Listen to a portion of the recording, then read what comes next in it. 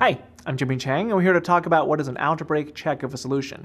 Now, when you're doing an algebraic check, all you're doing is you're checking using algebra that a solution works out. So, for example, if you have 3x plus 1 is equal to 5, for example, you want to solve it first and then check it later using algebra.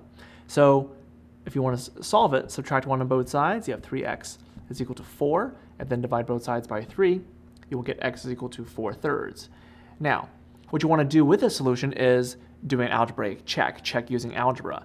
Plug in 4 thirds in the original equation and see if what you have uh, makes sense. So if you have 3, you're going to plug in 4 thirds now in place of x, so 3 times 4 thirds plus 1 is equal to 5, and see if what you have makes sense.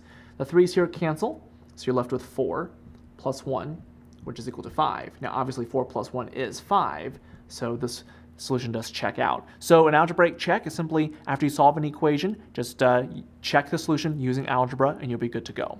So I'm Jimmy Chang and that's what is the algebraic check of an equation.